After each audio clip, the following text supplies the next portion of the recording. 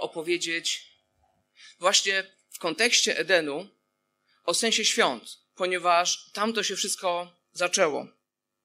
Historia świąt Bożego Narodzenia rozpoczyna się w trzecim rozdziale pierwszej księgi Mojżeszowej, a to dlatego, że praktycznie cały trzeci rozdział mówi o grzechu. Trzeci rozdział pierwszej księgi Mojżeszowej. Pan Bóg zwraca się do, do Adama, do Ewy. Najpierw do Adama. Kto ci powiedział, że jesteś nagi? Zapytał Bóg. Czy zjadłeś owoc z drzewa, z którego zakazałem ci jeść? Człowiek odparł. To kobieta, którą mi dałeś, aby była ze mną. Ona dała mi owoc z tego drzewa. No i zjadłem. Pan Bóg zwrócił się do kobiety. Cóż ty takiego zrobiłaś? Wąż mnie zwiódł, wyjaśniła. I zjadłam. Pan Bóg zatem zwrócił się do węża, ponieważ to uczyniłeś, będziesz szczególnie przeklęty wśród bydła i dzikich zwierząt. Będziesz pełzał na brzuchu i karmił się prochem przez resztę dni swego życia. Wzbudzę też nieprzyjaźń między tobą, między kobietą, między twoim potomstwem i między jej potomstwem. Ono zrani ci głowę, a ty zranisz mu piętę. Natomiast do kobiety powiedział, bądź pewna, że pomnożę twój trud i bóle rodzenia. W bólach będziesz rodziła dzieci, na mężu będziesz skupiać pragnienia, a on będzie nad tobą panował. W końcu zwrócił się do Adama, ponieważ posłuchałeś swojej żony i zjadłeś z drzewa, o którym ci powiedziałem, nie wolno ci z niego jeść. Z powodu ciebie ziemia będzie przeklęta. W trudzie będziesz zdobywał pożywienie i to po wszystkie dni swego życia. Będzie ci rodzić ciernie i osty, a pokarm, a pokarmem ci będą zbiory pól. W pocie czoła będziesz jadł chleb, aż powrócisz do ziemi, gdyż z niej zostałeś wzięty, bo jesteś prochem i w proch się obrócisz. Potem człowiek nadał swojej żonie imię Ewa, gdyż ona stała się matką wszystkich żyjących. Pan Bóg ubrał Adama i jego żonę w odzienie, które sporządził ze skór. Potem Pan Bóg powiedział, ponieważ człowiek stał się taki, jak jeden z nas, zna dobro i zło, to oby teraz nie wyciągnął ręki i nie zerwał owocu również z drzewa życia. Oby nie zjadł i nie żył przez to na wieki. Dlatego Pan, Bóg, usunął człowieka z ogrodu Eden, aby uprawiał ziemię, z której został wzięty. Tak to właśnie go wygnał na wschód od ogrodu Eden, ustawił e, cheruby z płomieniem wirującego miecza. Ich zadaniem było strzec drogi do drzewa życia. Przeczytałem ten fragment, który mówi o fatalnym upadku człowieka w grzech. Grzech jest zagadnieniem, które nieczęsto pojawia się i coraz rzadziej będzie się pojawiało w przestrzeni publicznej. Tak samo jak ludzie nie przepadają o tym, żeby mówić o dobru i złu, coraz bardziej e, rozcieńczając to, nazywamy to takim relatywizmem, że wszystko jest względne. Względne jest dobro, względne jest zło. Tak samo względny jest grzech. Ludzie nie lubią mówić o grzechu, słuchać o grzechu, ponieważ grzech powoduje to, że człowiek czuje się sam ze sobą źle. Nawet więcej powiedziałbym, w takich kręgach bardziej liberalnych można usłyszeć, gdy jest się chrześcijaninem, że wy chrześcijanie to właściwie ciągle byście mówili o grzechu. Grzech tu, grzech tam, grzech, grzech, grzech, w grzechu się rodzisz, w grzechu żyjesz, w grzechu umierasz, za grzechy Pan Jezus umarł. No po prostu ciągle grzech i grzech. Czy nie można byłoby tak pozytywniej, tak przyjemniej? To ja bym powiedział, że uznanie istnienia grzechu uznanie dobra i zła nie dołuje człowieka, lecz wnosi nadzieję w życie człowieka. Bo czym skutkowałoby, czym skutkuje w życiu wielu ludzi odrzucenie tego absolutu, że jest coś takiego jak absolutne dobro i absolutne zło że to nie jest zależne od mojego widzimisię, mojego samopoczucia, kultury, tylko że jest coś takiego jak dobro, jest coś takiego zło. My możemy powiedzieć, jest dlatego, że Pan Bóg powiedział, co jest dobre, co jest złe, ale jeśli ktoś odrzuca istnienie dobra zła, odrzuca istnienie grzechu, to tak naprawdę odbiera człowiekowi możliwość i konieczność działania. Gdy dzieje się coś złego, to pomyślmy, jaką mamy odpowiedź na przykład na takie pytanie? Dlaczego mnie oburza, że ktoś się zachował w taki sposób, że uważam, że to jest złe? No, jeśli nie ma grzechu, to odpowiedzią byłoby, no bo mamy to wpisane w kod genetyczny. Bo to jest uwarunkowane kulturowo, społecznie, historycznie, środowisko, jakkolwiek. że takie rzeczy po prostu się dzieją i już, po prostu. Takie jest życie. Trzeba to zaakceptować. Jeśli odrzucamy dobro i zło, jeśli człowiek odrzuca istnienie grzechu, to tak naprawdę nie ma możliwości ani konieczności reagowania działania. Bo jakie miałbym prawo zatrzymać kogoś, kto robi coś złego, ale uważa, że robi coś dobrego? Gdy silniejszy bije słabego, powiemy mu przestań. Ale on powie, ale ja uważam, że to jest dobre. My powiemy, nie obchodzi nas, co ty uważasz, masz przestać i już. Ale dlaczego? Bo to jest złe, bo to jest grzech. Społeczeństwo, które odrzuca grzech, traci prawo i możliwość reagowania, gdy dzieje się coś złego. Staje się bezzębne. Z jednej strony odczuwa, że coś jest złe, a z drugiej strony przecież wszystko jest względne. Właściwie nie ma czegoś takiego jak dobre, złe, jak grzech. Dlatego właśnie uznanie istnienia grzechu, wbrew pozorom, wnosi do życia nadzieję, ponieważ można coś zmienić, ponieważ ja mogę zmienić coś w swoim zachowaniu, że można reagować na grzech wokół nas. Trzeci rozdział pierwszej księgi Mojżeszowej mówi nam o grzechu i mówi nam, powiedzmy, trzy takie najważniejsze rzeczy. Mówi o źródle grzechu, czyli o naturze grzechu, mówi o skutkach grzechu, czyli co się dzieje, gdy grzech zaistniał, i o rozwiązaniu problemu grzechu, czyli co zaplanował Pan Bóg. I szybciutko spróbujmy przejść przez te trzy punkty. Do tego musimy wrócić do początku naszego fragmentu. Popatrzmy na werset 11, kiedy wydarzyło się to wszystko, co się wydarzyło. Kiedy człowiek e, rzeczywiście poznał dobro i zło.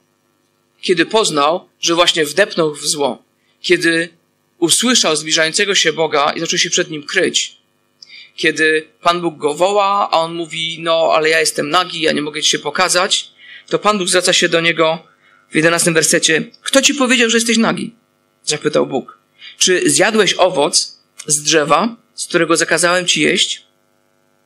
To, co jest ciekawego w Starym Testamencie, to on mówi o tych samych rzeczach, o których mówi Nowy Testament, lecz Nowy Testament bardzo często podaje nam jakieś definicje, określenia, gdzie Stary Testament przedstawia nam różne rzeczy. Przedstawia nam na przykład grzech. W Nowym Testamencie znajdziemy więcej definicji, czym jest grzech. W Starym Testamencie znajdziemy więcej przykładów, więcej ilustracji. Więc y, Pan Bóg nakazał Adamowi, a przez to i Ewie później, by nie jedli owoców z konkretnego drzewa. Ale dlaczego? No, my byśmy zapytali dlaczego. Czy są one trujące? Czy jest z nimi coś nie tak? Czy mają jakieś magiczne właściwości? Dlaczego nie jeść? Otóż jedynym powodem, dla którego Adam i Ewa mieli nie jeść owoców z tego konkretnego drzewa, było to, że takim Pan Bóg przykazał. Nie było żadnego innego powodu. Poza tym, że Pan Bóg powiedział, z tego drzewa macie nie jeść. Nie z powodów praktycznych, nie dlatego, że chciał im ukrócić jakąś ciekawość, ekscytację w życiu, nie dlatego, że to mogło być dla nich korzystne albo niekorzystne, pomocne albo niepomocne, ale tylko i wyłącznie dlatego, że tak Pan Bóg im powiedział. Mieli coś zrobić nie dla siebie, ale dla Boga. Dlatego, że On jest taki, jaki jest. Ale popatrzmy na to szerzej. Chciałbym przywołać jednego. Hmm. Przeskoczyłem. Chyba z największych amerykańskich teologów, jacy kiedykolwiek byli. Jonathan Edwards napisał taką, no wiele, wiele rzeczy napisał, ale mniej więcej taki traktat o naturze prawdziwej cnoty. Ale e, kiedy mówimy to słowo cnota, to chodzi nam o to łacińskie znaczenie virtus, to znaczy dobrze postępować, robić coś dobrego. Dlatego, gdy e, w literaturze czytamy o cnotliwym życiu, to nie chodzi tylko o sferę seksualno-moralną, ale chodzi o dobre postępowanie. Bo takie jest podstawowe znaczenie tego słowa. I Edwards powiedział, że są takie dwie cnoty powszechna i prawdziwa. Powszechne dobre postępowanie i prawdziwe, czy no, prawdziwe dobre postępowanie. Jeśli chodzi o to powszechne dobre postępowanie, to on napisał, że wypływa ono z dwóch pobudek. Na przykład, yy, bądź uczciwy, ponieważ to się opłaca. Bądź uczciwy, bo jeśli nie będziesz uczciwy i coś się wydarzy, to będzie twoja wina. Bądź uczciwy, nie oszukuj, nie kłam, nie kradnij, bo jak cię złapią, to będzie źle albo nawet gorzej. Więc pierwszą motywacją w tej powszechnej yy, cnocie, zalecie, dobrym postępowaniu jest tak naprawdę strach. Ja chcę dobrze postępować, bo konsekwencje mogą być negatywne. Ale jest druga motywacja, która mówi bądź uczciwy, bądź prawdomówny, bądź dobry dla innych, bo przecież nie chcesz być jak ci, którzy kłamią, oszukują, kradną, e, łajdaczą się, piją i robią inne rzeczy. Bo drugą motywacją powszechnej cnoty czy tego dobrego postępowania jest duma. Pierwszą jest strach, drugą jest duma. Ja bym powiedział i dziękować Bogu, że ludzie w ogóle funkcjonują w kategoriach takiego dobrego zachowania, bo dzięki temu na tym świecie w ogóle da się żyć. Że ludzie mają pewne opory lub pewne ambicje, żeby postępować dobrze, przyzwoicie, porządnie, ze strachu przed konsekwencjami, albo dlatego, że uważają, że są dobrzy i lepsi niż inni. Ale co oznacza takie podejście? Oznacza, że większość ludzkiej dobroci jest zgniła u swoich podstaw. Co nie zmienia faktu, że dzięki temu można lubić sąsiada, współpracownika, szefa, krewnych, rządzących i tak dalej. Ale ciekawa jeszcze, wracając do Edwardsa, jest jego inna obserwacja, ponieważ gdybyśmy zadali sobie pytanie, dlaczego w pierwszej kolejności ludzie w ogóle kłamią, oszukują, to Edwards by odpowiedział, że również z powodu strachu i z powodu dumy. Z powodu strachu, żeby nie wyszło na jaw, co przeskrobali, z powodu dumy, bo chcą się prezentować lepiej, niż tak naprawdę coś sobą stanowią. Dlatego też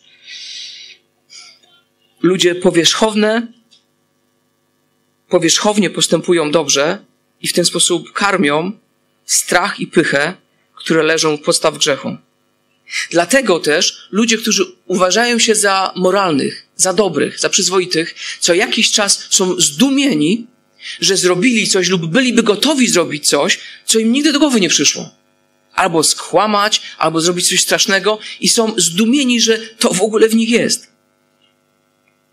Ale dlatego też możemy mówić o grzechu popełnionym w myślach. W momencie, w którym rozważam skłamać czy nie skłamać, gdy zaczynam kalkulować, co się bardziej opłaca. Jeśli skłamię, konsekwencje są takie, jeśli nie skłamię, konsekwencje są takie, ja już popełniłem grzech. Nie mówię o pokusie, ponieważ przychodzą na nas pokusy, które mówią, wiesz co, łatwiej byłoby, gdybyś skłamał. Ja mówię o sytuacji, kiedy ja zaczynam rozważać. Zrobić, nie zrobić. Jakie są plusy, minusy. Strach, duma. Co osiągnę, co stracę. Popełniłem grzech w swoim sercu, w swoich myślach. Ale jest też ta prawdziwa cnota. I prawdziwa cnota, jak mam nadzieję, że się domyślacie, polega na tym, że postępuje dobrze, dlatego, że Pan Bóg jest dobry. Pan Bóg jest dobry, jest hojny, jest szczodry, jest cudowny. Postępuje dobrze, ponieważ Bóg jest Bogiem.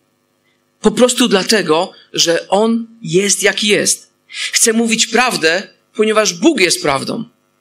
Chcę być hojny i życzliwy, ponieważ Bóg jest hojny, życzliwy. Chce być ofiarny dla innych, ponieważ On tego, którego miał najcenniejszego, ofiarował, żeby mnie beznadziejnego, zgniłego w swoim grzechu, mimo że na zewnątrz może wyglądającego całkiem dobrze, chciał ratować. Chce być opanowany, ponieważ Pan Jezus, pomimo że strasznie, aż do krwi się pocąc, bał się pójść na krzyż, wiedząc co go tam czeka, to opanował cały swój charakter i emocje i poszedł na krzyż. I zrobił to dla ciebie i dla mnie. I to jest piękne samo w sobie. Bez oczekiwania korzyści, bez pracowania na lepszą e, samoprezentację, bez próby ugrania jakichś dodatkowych celów. I czasami to się nazywa taką Bożą estetyką. Że to jest piękne samo w sobie. Gdy stajesz na szczycie góry i patrzysz na piękne tereny, to to jest po prostu piękne. To jest estetyka. Tak naprawdę nic do kieszeni nie dostałeś, twoje konto się nie wzbogaciło o nic, a jednak jesteś przepełniony zachwytem, radością, spełnieniem, bo to jest piękne. Więc ta prawdziwa cnota, to prawdziwe dobre postępowanie polega na tym, że chcemy postępować dobrze, bo taki jest Pan Bóg. Ponieważ to jest piękne i dobre same w sobie, bez dodatkowych korzyści. Jednocześnie, jeśli śledziliście to, co mówiłem, to zdajemy sobie sprawę z tego, że do końca życia każdy z nas będzie miał pewnego rodzaju napięcie i tarcie między powszechną cnotą i tą prawdziwą cnotą. Bo za każdym razem, gdy robimy coś dobrego, czy robimy to dlatego, że Pan Bóg jest dobry, czy robimy to dlatego, bo inni patrzą. Za każdym razem, kiedy jesteśmy ofiarni, czy robimy to dlatego, że Bóg jest ofiarny, czy dlatego, żeby poczuć się lepiej. Ale to już jest zagadnienie bardziej związane z duchowym wzrostem, więc na inną okazję. okazję. A wracając do Adama i Ewy, gdy Bóg mówi im, żeby nie jedli z drzewa poznania dobra i zła, chce, żeby zrobili to dla Niego. Bez żadnych dodatkowych korzyści. Po prostu dla Boga. Ponieważ On im to przykazał. I kropka. Okay? To po pierwsze. Po drugie, jakie są skutki grzechu? Wszystko, ale to absolutnie wszystko w naszym życiu zostało dotknięte grzechem.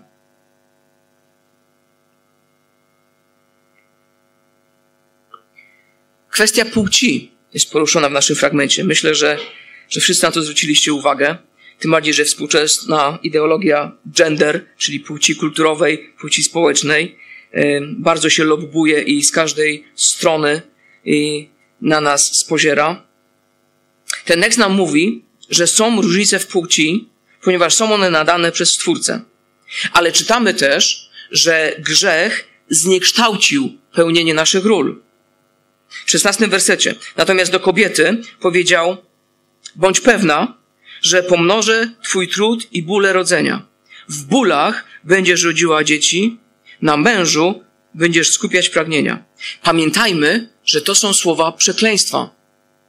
To nie są słowa Bożego porządku, który On nadał, gdy stworzył człowieka jako mężczyznę i kobietę. Są to słowa przekleństwa. Pismo Święte nas uczy tutaj, że grzech to spowoduje że mężczyzna będzie chciał zdominować kobietę. Żeby mężczyzna poczuł się dobrze w tej pustce spowodowanej grzechem, jednym ze sposobów będzie dla niego zepchnięcie kobiety na margines i trzymać ją pod butem.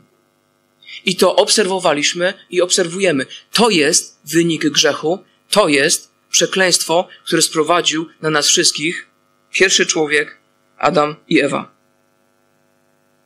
to grzech spowodował, że mężczyźni uciskali, ciemiężyli, utrudniali życie kobietom i dalej to robią. I zauważmy, że Pismo Święte jest wrażliwe w tym punkcie, czego krytycy chrześcijaństwa nie chcą dostrzec. Panowanie mężczyzny nad kobietą, panowanie, rządzenie, ciemiężenie, u, ucisk, jak, jakichkolwiek tu użylibyśmy słów, jest wynikiem grzechu. Nie Bożym zamysłem na relacje damsko-męskie. Także skutkiem grzechu dla mężczyzny jest to, że chce władać kobietą, panować nad nią. Jaki jest skutek grzechu dla kobiety? Z tego fragmentu, oczywiście to nie jest całościowe podejście, ale z tego fragmentu wynika, że bożkiem staje się dla niej więź z mężczyzną. I tak jak nie wszyscy mężczyźni muszą tłamsić kobiety, żeby się dobrze poczuć, dzięki Bogu, tak nie wszystkie kobiety traktują więź z mężczyzną w sposób wręcz religijny, ale tak samo w tym przekleństwie, gdy czytamy o ziemi, nie każda ziemia rodzi tylko i wyłącznie chwasty. Bo jest czarnoziem, na który jak rzuci, co, cokolwiek rzucisz, to ładnie wyrośnie. Ale wszyscy znamy te sytuacje, gdy kobiety trwają w toksycznych, pełnych bólu i cierpienia więziach i nikt nie rozumie dlaczego. A to właśnie dlatego, że grzech w ten sposób zdominował, zniekształcił, zniszczył pragnienia kobiety w relacjach damsko-męskich. W tym przekleństwie widać wyraźnie różnicę płci. Mamy różne bożki, mamy różne grzeszne tendencje w relacjach damsko-męskich, jesteśmy różni. To, co powinno wzajemnie uzupełniać mężczyznę i kobietę, stało się wzajemnym, wzajemnym uzależnieniem w poszukiwaniu przyjemności, spełnienia w życiu, w zapełnianiu tej pustki, która pojawiła się w sercu z powodu grzechu. Popatrzmy na werset 17, kwestia pracy.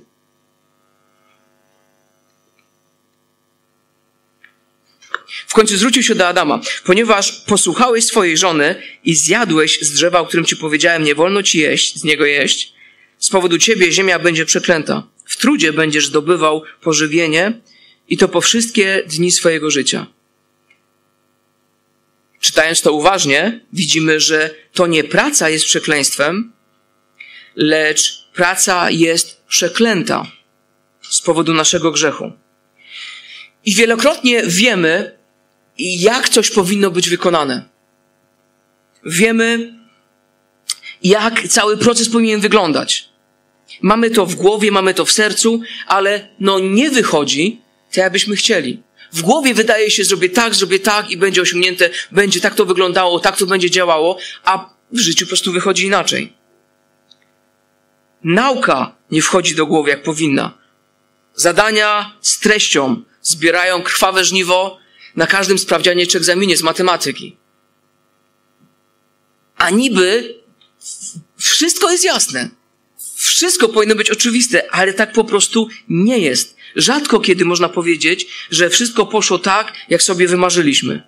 Ale to nie praca, nie nauka, nie możliwości twórcze czy inspiracja są przekleństwem, lecz z powodu naszego grzechu zarastają chwastem i w pocie czoła do końca naszych dni musimy z tym walczyć jak na ugorze. Ale nadchodzi taki dzień, kiedy nie będzie już chwastów kiedy nie będzie już tej pracy w pocie czoła, która będzie przynosiła umiarkowane wyniki. Nadchodzi ten dzień, kiedy Pan Bóg odnowi to wszystko, co jest. I wtedy nasza praca będzie przynosiła najwspanialsze możliwe efekty. Nasze spełnienie i radość z tego, że Pan Bóg daje nam takie, a nie inne zdolności, możliwości i my je wykorzystujemy, będą Panu Bogu na chwałę i będą nas zachwycały. Bo jeśli myślimy, że niebo i wieczność polega na tym, że będziemy bujać się z aniołami na chmurach i całą wieczność śpiewać Panu Bogu na chwałę, to tego nie znajdziesz w Biblii. W Biblii znajdujemy obietnicę odnowienia. Było stworzenie, był upadek, o którym czytaliśmy, było odkupienie, które świętujemy każdej niedzieli zmartwychwstałego Pana Jezusa i oczekujemy odnowienia. Odnowienia naszych ciał, y, odebrania grzechu, odebrania y, dysfunkcji, tego wszystkiego, co teraz ogranicza, co teraz nie działa, co teraz powoduje, że wewnątrz wiemy, jak powinno być. Chcieliśmy, żeby dobrze wyszło, miało wyjść dobrze, no a wyszło jak zawsze. Czego jeszcze dowiadujemy się o skutkach grzechu? Dowiadujemy się, że grzech oddziela nas od Boga w sferze duchowej. Zobaczmy, Adam konfrontowany przez Boga, na kogo zwala winę? To kobieta, którą mi dałeś, aby była ze mną. Adam mówi Panu Bogu, Panie Boże, widzisz, to chyba jednak nie była najlepsza idea, żeby stwarzać kobietę. W średniowieczu uważano, że Adam żył w Edenie setki lat, a jak się pojawiła kobieta, to nawet tygodnia nie wytrzymali. Ale to, to było średniowiecze i to był męski szowinizm. To jest właśnie efekt grzechu, który powodował, że w ten sposób e, mężczyźni patrzyli na kobiety. Totalna bzdura. Bo może nawet dwóch nie przeżyli w Edenie. Nie wiemy. Najpierw się chowa, później obwinia innych. Bo grzech prowadzi do izolacji i do wyparcia zwłaszcza własnej odpowiedzialności. Dlaczego ja? To nie byłem ja, to nie była moja wina, bo to się wydarzyło. Oboje, najpierw tak, Adam obwinia Ewę, Ewa obwinia węża, wąż zaciera ogon, bo mu się udało. Oboje są przepełnieni strachem i poczuciem winy. Przed popełnieniem grzechu czytamy, że oboje byli przed sobą nadzy, transparentni niczego nie ukrywali przed sobą, ale tak dłużej już nie potrafią. Tak dłużej już nie chcą i nie mogą. Gdy Pan Bóg przeklina ziemię z powodu grzechu, to tak naprawdę nie On zmienia warunki, żeby człowiekowi było ciężko. Pan Bóg mówi, że teraz tak będzie, ponieważ stworzenie odwróciło się od swojego Stwórcy. To my zbuntowaliśmy się przeciwko naszemu Panu, a nie reszta Bożego stworzenia. Dlatego gołąb na dachu, a żaba w kałuży oddają Panu Bogu swoim istnieniem więcej chwały niż ja czy ty, ponieważ myśmy zbuntowali się przeciwko naszemu Panu, a oni nie. Jeden z purytańskich teologów powiedział, że gdy człowiek podchodzi do dzikich zwierząt, one uciekają. Gdy podchodzi do dzikiego albo nieznanego psa, ten warczy na człowieka. A gęś, co robi gęś? Syczy, nie? A gęś syczy. Dlaczego? Ponieważ one wyczuwają, że zbuntowaliśmy się przeciwko naszemu Panu. A one nie.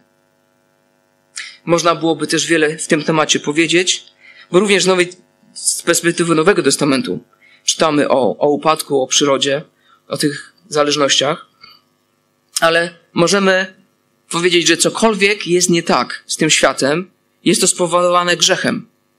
Grzechem, który człowiek na niego wprowadził. I grzech przenika każdą sferę i wymiar tego świata. Ale w momencie, kiedy Pan Bóg odrodził Twoje serce, jeśli odrodził Twoje serce, rozpoczął się proces uleczania. Od momentu, gdy świadomie wróciliśmy pod Boże panowanie. Pan Bóg leczy nas z izolacji od Niego, w naszej tej, tej sferze duchowej, leczy nas od wypierania tego, co ze mną jest nie tak w tej naszej sferze osobistej i leczy nas też w więzi z innymi ludźmi, w sferze społecznej. I tu jest ogromne zadanie dla Kościoła, żeby być narzędziem w Bożym ręku w tym leczeniu i z izolacji z Panem Bogiem i z tego wypierania. Ja jestem całkiem dobry, inni są gorsi, to nie ja zrobiłem, tak wyszło. I w leczeniu więzi z innymi ludźmi. I powiedziałbym, chyba nawet tym bardziej teraz, kiedy pomimo tego, że z każdej strony szaleją różnego rodzaju komunikatory i społecznościowe media, ludzie są głodni relacji i więzi fizycznych, bez emot ikonek, bez domyślania się, co się kryje za tymi kropkami, innymi znakami graficznymi, ale języka tego pozawerbalnego, które widzimy, y, dotyku, tonu głosu, popatrzenia w oczy, przytulenia, wspólnego śmiechu. I tu jest bardzo ważna rola dla Kościoła. Natomiast przed nami ciągle jeszcze jest dzień pełnego uleczenia i uwolnienia.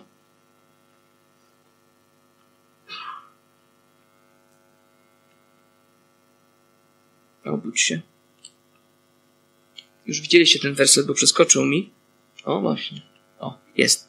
Ósmy rozdział do, listu do Rzymian do 22 wersetu. Wiemy bowiem, że całe stworzenie aż do teraz wzdycha i znosi bóle rodzenia a nie tylko ono. Podobnie my sami, którzy już mamy pierwszy owoc, ducha, wzdychamy w sobie, oczekując usynowienia, odkupienia naszego ciała. Z taką właśnie nadzieją zostaliśmy zbawieni.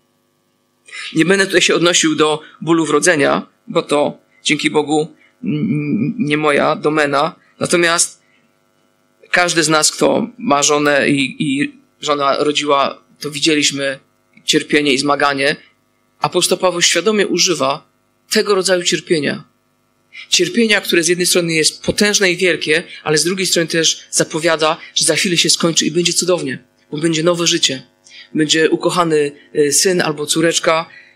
I całe stworzenie w ten sposób wzdycha i cierpi, oczekując tego dnia, kiedy nastąpi nasze usynowienie, odkupienie naszego ciała, i w takiej nadziei jesteśmy zbawieni. Oczekujemy powrotu naszego króla, który odnowi to, co popsute, to, co martwe, to, co chore. I wreszcie czytamy w tym fragmencie o tym, jakie jest Boże rozwiązanie. E, I to już będzie to już będzie ostatnie.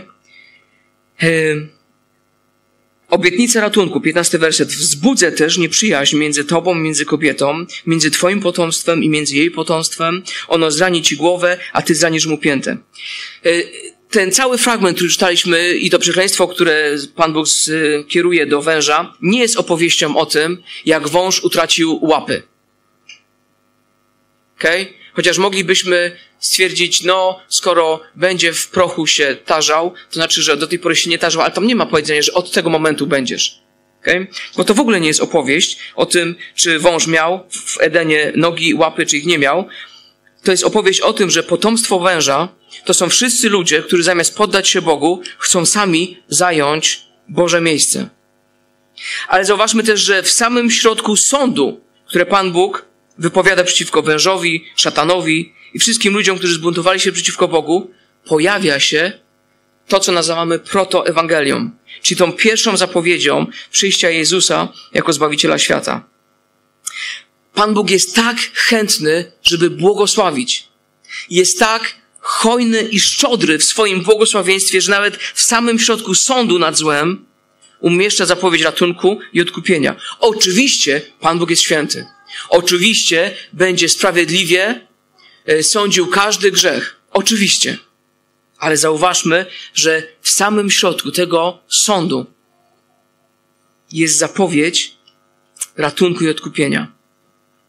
Człowiek nie zasługuje na ratunek, wręcz przeciwnie, ale też Pan Bóg nie jest zaskoczony, nie jest zaskoczony e, takimi okolicznościami, taką sytuacją i wcale nie jest bezradny. Gdy Pan Bóg mówi w tym 15 wersecie jeszcze raz, wzbudzę też nieprzyjaźń między Tobą i między kobietą, między Twoim potomstwem i między jej potomstwem. Ono zrani Ci głowę, a Ty zranisz mu piętę. Nie chodzi o to również, że od tego momentu między człowiekiem a wężem, wężami będzie nieprzyjaźń. Ja rozumiem, a czy u nas zbyt wielu węży w Polsce nie ma, z czego tylko jeden jest w ogóle e, jadowity, żmija. Rozumiem, że ludzie mogą nie lubić e, węży, ale chyba jeszcze bardziej pająków, a może myszy i innych takich. Ale tu w ogóle nie o to chodzi. Nie chodzi o tą warstwę, że ja i wąż.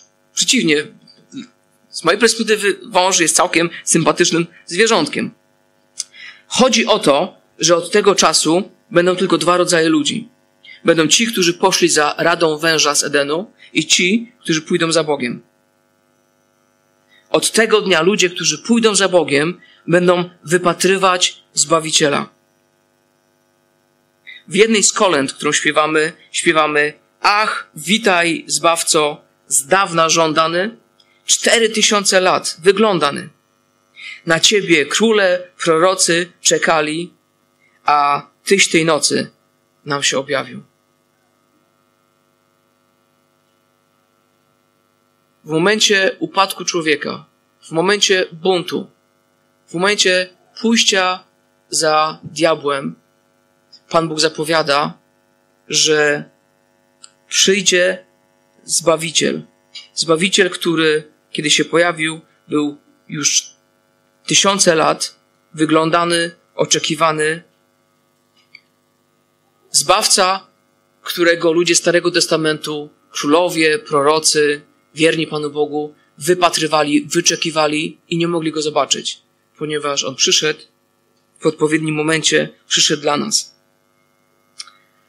Wszystko zaczęło się w Edenie.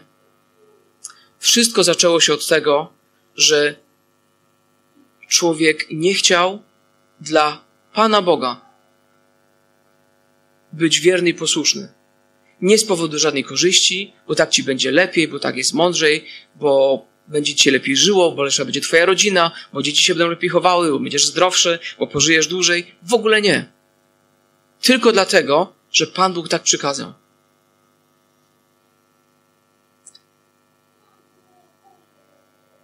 Prawdziwa cnota polega na tym, że chcemy żyć dobrym życiem, dobrze postępować, bo to jest dobre samo w sobie, bo taki jest nasz Pan Bóg.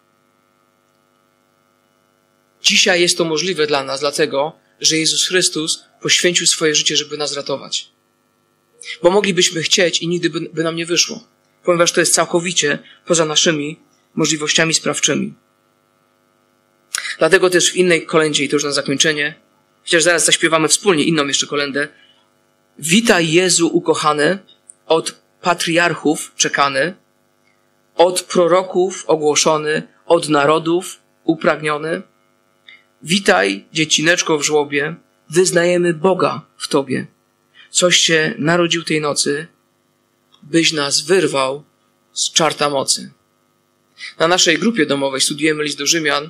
Przedarliśmy się ostatnio po raz, podchodząc po raz czwarty czy piąty przez końcówkę siódmego rozdziału listu do Rzymian, gdzie apostoł Paweł mówi o sobie, że on nie wie dlaczego tak jest, że chce dobrze robić, a robi to, czego nienawidzi.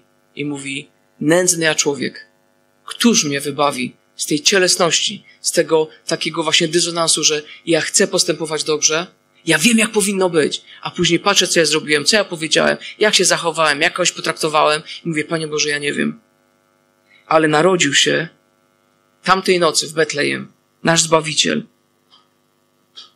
który wyrwał nas z mocy diabła, z mocy grzechu, z mocy śmierci i potępienia i przeniósł nas do swojej rodziny, do wieczności.